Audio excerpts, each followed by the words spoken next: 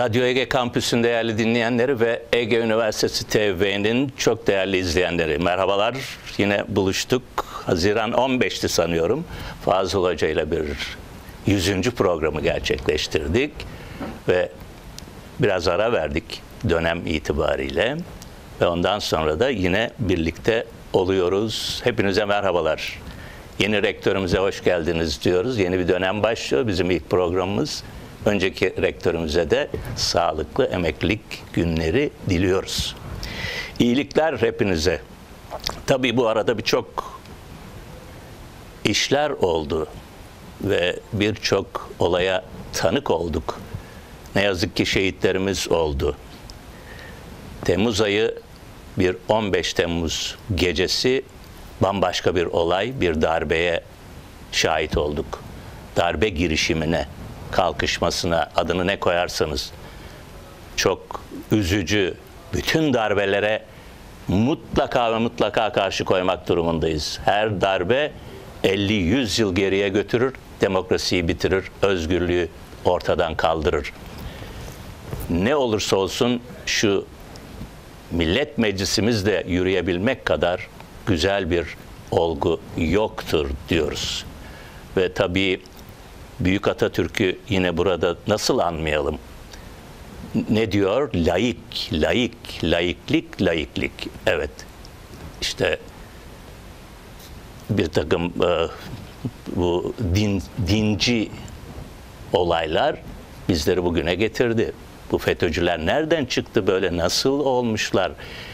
Dibimize kadar girmişler ve bu hallere getirmişler ülkemizi ve bir takım hepsini kınıyoruz, şiddetle kınıyoruz, lanetliyoruz ve böyle günleri bir daha yaşamamayı diliyoruz. O geceki şehitlerimizi ve terör örgütüne şehit, terör örgütüyle şehit olanlarımızı saygıyla anıyoruz, rahmetle anıyoruz. Geride kalanlarına sabır, sağlık diliyoruz ve böyle şeyleri bir daha görmeyelim diye dua ediyoruz. Temmuz ayında bu korkunç olaydan sonra biz yine şöyle bir yazı değerlendirecek olursak bir güzel günü de yaşadık Ağustos'ta 30 Ağustos Zafer Bayramı. Biliyorsunuz ilk hareket 26 Ağustos'ta başlamıştı. Bu 26 Ağustos'u söyleyince şu günlerde bir kayıkçı kavgasına dönüşen şu kültür park olayına da biraz değinelim. Kavgaya gerek yok. 26 Ağustos bakın 5 tane kapısı var. 26 Ağustos kapısı, Cumhuriyet kapısı, 9 Eylül kapısı, Montreux kapısı ve Lozan kapısı.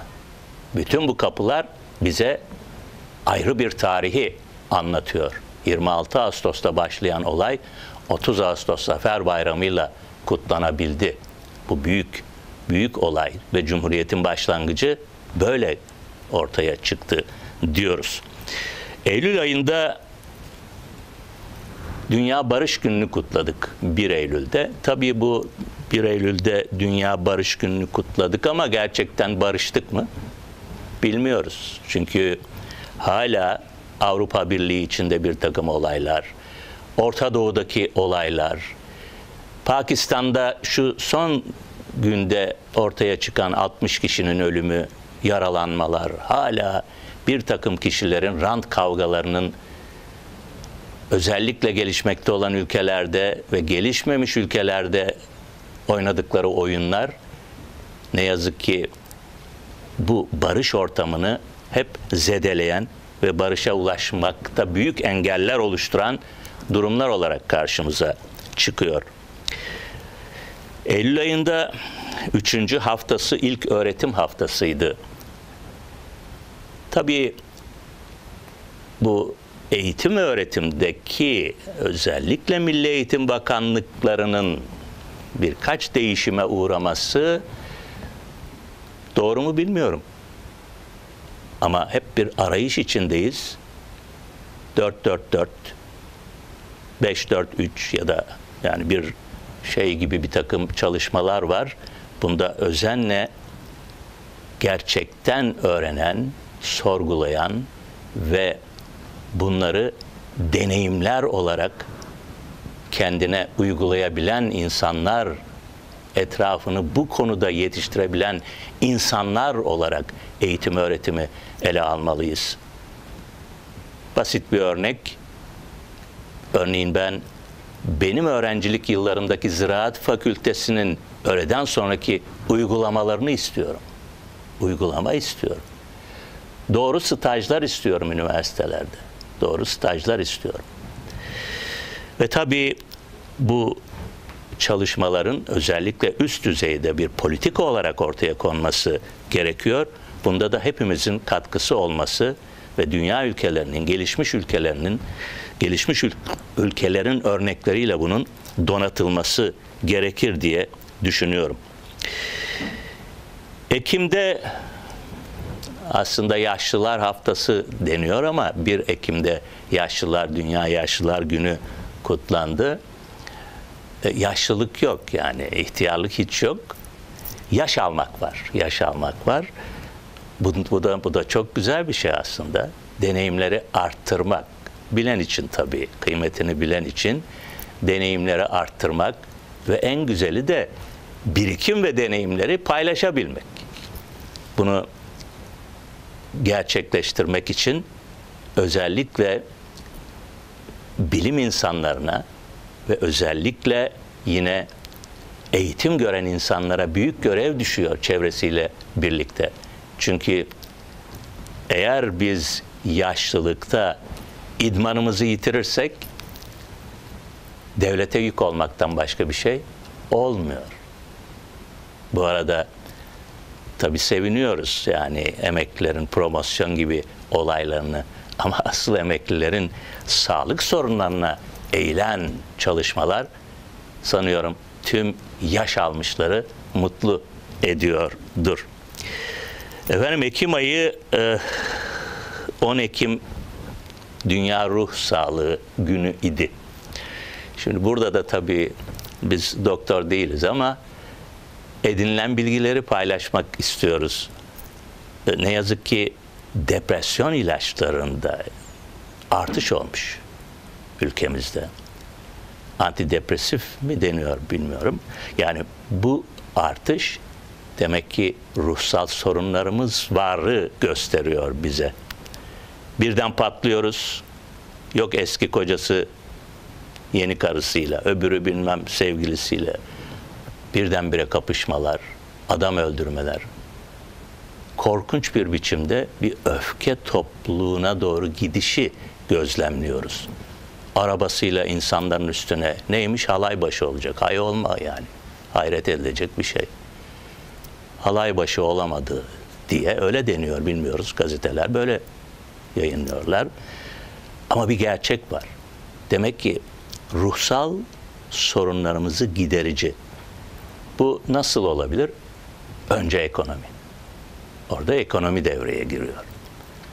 Yani e, çok e, amiyane bir tabir oldu ama olsun. Yani açayı oynamaz diye bir laf var. E şimdi tabii bunları iyi düşünmek ve özellikle bu ruh sağlığına özen göstermemiz gerekir. Çünkü ekonomi dedik, 16'sı da gıda günüydü ve birçok toplantılar yapıldı. Birleşmiş Milletler bunları böyle koyuyor işte şu günü bu günü falan ama uygulamaya gelince bakın bir buçuk milyar insan hala sağlıklı suya erişemiyor. Gıdayı bırakın su bulamıyor su. Belki izliyoruz hep beraber. İşte kamplardaki, Ürdün'deki, Suriye'deki, Orta Doğu'daki insanların 10 günde bir içecek suyu yani bir belki duş alabilecek bir imkanı bile zor bulduklarını söylüyoruz, öğreniyoruz.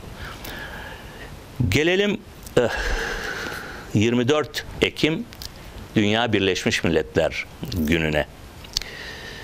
Birleşmiş Milletler Günü itibariyle yapılan açıklamalarda İstanbul'un Birleşmiş Milletler şehri olması arzu edildiği ortaya konuldu. Doğrudur. İstanbul bir merkez çünkü.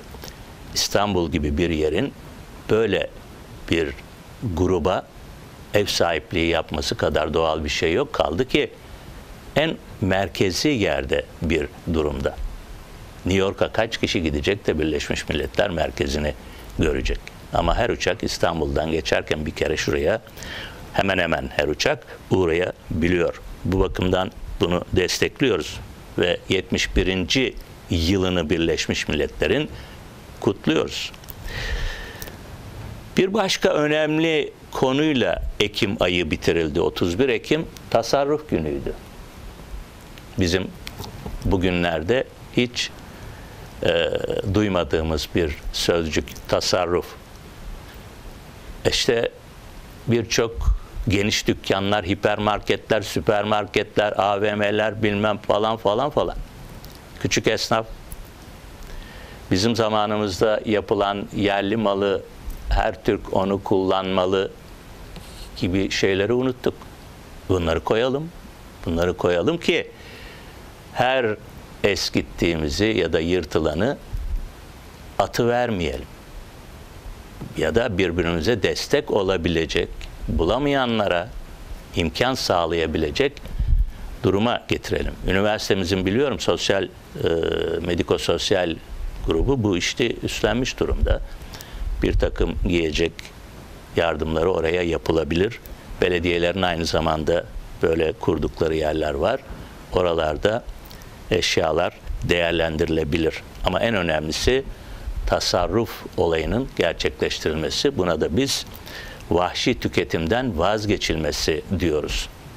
İnsanlar ihtiyacı kadarını kullansalar zaten dünya bu hallere gelmez. 96'dan bu yana cepten yiyoruz. Ekoloji hep eksiye doğru gidiyor. Ekoloji hep söylüyoruz. Temiz toprak, temiz su, temiz hava. Bu ilişkiler demetini çözmeye çalışan bilim dalı ekoloji. Ve bu bilim dalı sayesinde ekosistemleri çözmeye çalışıyoruz. Su ekosistemi yani suya özgü bir sistem, ilişkiler demeti. Toprak ekosistemi, toprağa özgü ilişkiler demeti. Bu arada bizler bu konularla ilgili çalışmalarımızı da sürdürmeye devam ettik, devam ediyoruz. Özellikle e, bu çalışmalar kapsamında Eylül ayında yarım adayı ilgilendiren bir çalıştay düzenledik. Kiminle? Buradan katılan peyzaj mimarlığı bölümünden, çevre merkezinden, Ege Üniversitemizin Anadolu Üniversitesi'nin geliştirdiği bir proje çalışmasını, onu hemen kısaca söyleyelim. Turizm, rekreasyon ve kırsal kimlik açısından peyzaj karakterlerinin belirlenmesi. Ya bunlar belirlenirse ne olur? Rantçıdan önce plancılar gidip oranın kullanım değerlerini ortaya koyabilirler. İşte böyle bir proje için Eylül ayında bir e, çalıştay düzenlendi e, Karaburun'da ve bu çalıştayla da önemli bilgiler paylaşıldı. Yarımada'nın geleceğe yönelik proje tabii devam ediyor. Bu proje sonuçlandığında turizme olan katkıda önemli bir biçimde ortaya çıkacaktır diyoruz. Bu arada e, bir başka projemiz de 28 Ekim'de önümüzdeki e, Cuma günü e, herkes davetli gastroturizm İzmir ilinde gastroturizm yani gastronominin İzmir iliyle bağdaştığı şekilde turizme katkıları. Seferihisar'da yapılacak bu toplantı. Yine Anadolu Üniversitesi ile müşterek bir toplantı ve burada değişik olanaklar, işbirlikleri, hem üretici hem tüketicinin bir araya geldiği bir çalıştay e, şeklinde geçecek toplantı ve bu toplantı sonucunda da umuyoruz birbiriyle buluşamayan lara yeni bir metodolojik kavram getirilebilir diye düşünüyoruz. Burada e, böyle çalışmalarla özellikle biliyorsunuz 2016'da çok üzgün bir turizm olayı geçirdik. 2017'ye de sarkabilir deniyor. Bu şekilde belki bilim insanları olarak bir katkıda bulunabiliriz düşüncesindeyiz. 11 Ekim'de yapılan bir çalışmadan sizlere söz etmek istiyorum. 10 Ekim'de buradan gittik bir e, çağrı üzerine ekologların Avrupa Parlamentosu'nda bir davet üzerine özellikle Avrupa Ekoloji Federasyonu'nun çalışmaları kapsamında Avrupa Parlamentosu'nda bir yuvarlak masa toplantısı yapıldı.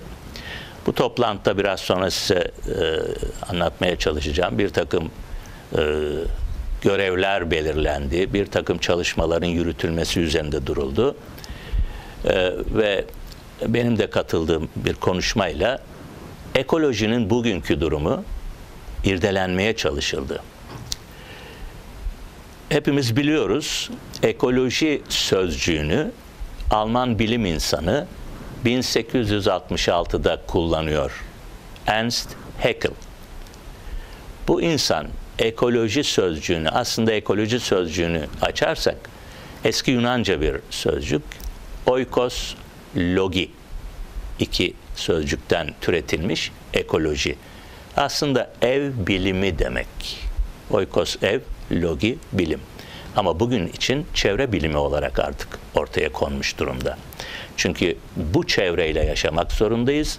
Bu çevreyi yaşatmak zorundayız ki dünyamız geleceğe bizi yaşatabilir bir sürdürülebilirlik kazanabilsin. İşte bu kapsamda önemli e, çalışmalar e, e, yapmaya çalışıldı. Bilgiler tartışıldı. Yuvarlak masada değişik konular, görüşler, değişik ülkelerden gelen ekologlar tarafından anlatılmaya çalışıldı. Ve e, tabii bu özellikle sadece e, ekoloji üzerine değil, çevre bilimcilerinde yani çevreyle ilişkili, çevre sorunları üzerine çalışmalar yapanların da bulunduğu bir toplantı oldu. Bu toplantıyı kısaca eğer değerlendirebilirsek şunları söyleyebiliriz. Sonuç bildirgesine de bunlar yansıdı. Zaten e, davet edenler de başlangıç konuşmalarında genellikle bu biraz sonra açıklamaya çalışacağım konulara değindiler ve bu yüzden dünyanın sorun yaşadığını belirttiler. Bu çalışmada özellikle ekolojinin temel bir bilim dalı olduğu üzerinde duruldu. Yani hemen her bilim dalıyla interdisipline olmuş, iç içe geçmiş, her bilim dalının koordinasyonunda olabilecek ve dolayısıyla çevre sorunlarına ki çevre sorunları kısaca belirtirsek özellikle çevre dokusu doğal ve kültürel kaynakların bir arada bulunmasıyla ortaya çıkmış bir olay. Ve canlı cansız varlıkların bir arada olduğu bir ortam. Ama nasıl bir ortam? Dinamik, hareketli bir ortam.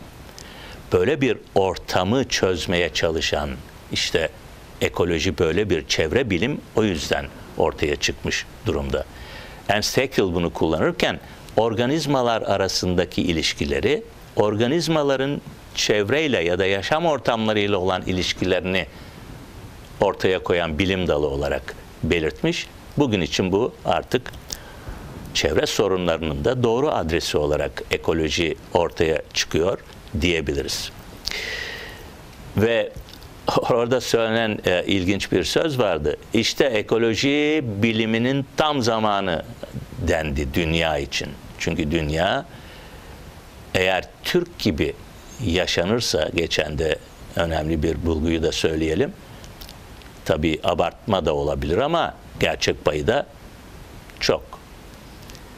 Türk gibi yaşarsak bu şekilde devam edersek bir buçuk dünya gerekir deniyor. Dünya gibi bir buçuk dünya gerekir deniyor. Eğer Amerikalı gibi yaşarsak dört buçuk dünya gerekir deniyor. E peki Afrikalı gibi mi yaşayalım? Asyalı gibi mi yaşayalım? Neden olmasın? Bazı şeyleri artık görmek zamanı değil mi? Ve bu kapsamda biz eğer biraz önce de belirttiğim gibi sadece gereksinimlerimizi, ihtiyaçlarımızı karşılayan bir yaşam şeklini ortaya koyarsak, yenilenebilir enerjilerle çalışmalarımızı sürdürürsek herhalde en doğruyu yapmış oluruz. Olmaz mıyız? Bir başka önemli belirlenen nokta da güçlü ekolojik bilginin yani ekolojiyle ilgili durmadan konuşmanın, anlatmanın, ekosistemleri belirlemenin, örneğin buzullar erirse ne olur? Metan gazının ortaya çıkışı, top, toprakların o metan gazının uyanışı, seller, sular birbirine bağlı olur. Suların azalması, ormanların yok olmasıyla ortaya çıkar gibi ekosistemleri anlatan bilgilerin küçük yaşlardan itibaren her seviyede üniversitelere varıncaya kadar önemli bir ders olarak hatta genel bir ders olarak ortaya konulması üzerinde duruldu. İkinci önemli madde buydu. Ve burada ekosistemlerin işlevlerinin birinin bozulduğunda diğer ekosistemin de bozulduğu üzerinde özellikle bizim hep tekrarladığımız konu gündemde tutuldu. Ve burada tabii bu konu e, geliştirilirken özellikle gelişmemiş ülkelerin durumu üzerinde ayrıca duruldu. Ve doğal kaynakların eşdeğer kullanılması üzerinde ayrıca önemli duruldu. Ekolojik bir başka önemli nokta ise ilginçtir. Ekolojik vatandaşlık kavramı getirildi. Her vatandaşın, dünya vatandaşının ekolojik vatandaş olması, yani sömürgen vatandaşlıktan çıkıp Şimdi diyeceksiniz ki e, iyi de biz bunu böyle yapıyoruz ama bizim dışımızdakiler Amerika başta olmak üzere Allah ne verdiyse götürüyorlar diyeceksiniz. Doğru.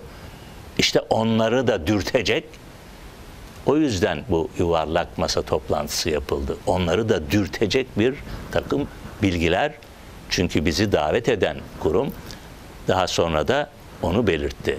Bu bilgiler bütün milletlere dağıtılacaktır. Ekolojik vatandaşlık kolay bir olay değil tabii. Yani ekolojik temiz toprak, temiz su, temiz havayı kullanabilir kılmak. Ne kadar bizler bizim çocuklarımız, torunlarımız, torunlarımızın torunlarının kullanabileceği dünya yaratmak. Ekolojik vatandaşlık bu. Sürdürülebilir, sağlıklı bir temiz dünya için politikaların acımasız üretilmesi üzerinde duruldu. Devlet adamlarının, siyasetçilerin, karar vericilerin bu kapsamda çok dikkatli bir biçimde eğitilmeleri zorunluluğu gündeme geldi ve Avrupa Ekoloji Federasyonu bu kapsamda diğer ekolojikle ekolojiyle ilgili bilim dallarının ya da kardeş bilim dallarının diyelim ki bunun içinde ekonomi giriyor, hukuk giriyor, sosyoloji giriyor, teknoloji giriyor. Çevre dostu teknolojiden söz etmek zorundayız örneğin. Şimdi elektrikli arabalara e, varıncaya kadar ve e, işte bütün bunlarla bir bütünlük içinde çalışılması gerekliliği vurgulandı ve böylece ekoloji biliminin politikanın her düzeyinde yer alması gerektiği üzerinde duruldu ve bizler de içimizden başta e, parlamentolardan başlamak diye geçirdik. Yani milletvekilleri olanların bu kapsamda doğru bilgiler edinip doğru çalışmalara imza atmaları sağlanmalıdır diye düşündük. E, burada e, tabii Kültür Parkı kısaca söz ettik. Kayıkçı kavgasına dönüştü dedik. Ekim ayının önemli gündem maddelerinden birini oluşturdu. İşte orada da biraz daha tasarrufa giden ve yeşili yıpratmayan bir de kent parkı işlevini yitirmeyen bir Kültür Park'tan. Herkes aynı şeyi söylüyor ama başka açılardan belirtmeye çalışıyor. Bunun da üzerinde bu kapsamda durulması gereğini tekrar belirtmek istiyorum. Üniversitemizin açılışı 19'unda oldu. Sayın Rektörümüz de bu konulara çok önem verdiğini ve bu kapsamda kültür, çevre sorunları, spor, sosyolojik bakımdan üniversiteyi geliştirecek, ilerletecek ve kültürel bakımdan da dünyaya tanıtacak olguların üzerinde durulması gerekli üzerinde vurgu yaptı. Bu da bizi çok mutlu etti. Bundan sonraki çalışmalarımız o şekilde yürümeli diye düşünüyoruz. Yani çevre bizim yaşamımız için çok önemli. Bizim parlamentodaki, Avrupa parlamentosundaki konuşmalarımız da aşağı yukarı bu kapsamdaydı. Benim yıllardır üzerinde durduğum ekolojik ekonomi sözcüğü de o kapsamda yerini aldı. Ekonomi ekolojik olmazsa dünya geriler, dünya yaşanılamaz bir hale gelir ki bunu zaman zaman yaşıyoruz. Uzatmak istemiyorum. Bu konuda çölleşmeye doğru giden ülkeler bizim bir takım yanlışlarımızdan dolayı susuzluk sorunları dünyayı sarabilir diye belirtelim ve bu kapsamda ekolojiyi burada bırakarak bir başka güne geçelim. 29 Ekim 1923 Cumhuriyet Cumhuriyet Bayramımızı cumartesi günü kutluyoruz. Bütün güzellikleriyle, onurla, gururla kutluyoruz ve tabii Atatürk'ü anıyoruz. Benim naçiz vücudum elbet bir gün toprak olacaktır ama Cumhuriyet ilelebet payidar kalacaktır. Bunu hiç unutmuyoruz. Şeyin dediği gibi, Harbiye Marşı'nın belirttiği gibi. Kanla irfanla kurduk biz bu cumhuriyeti. Cehennemler kudursa ölmez nigah ba bağınıyız, bekçisiyiz diyor. Hepinize iyilikler. Görüşmek üzere haftaya.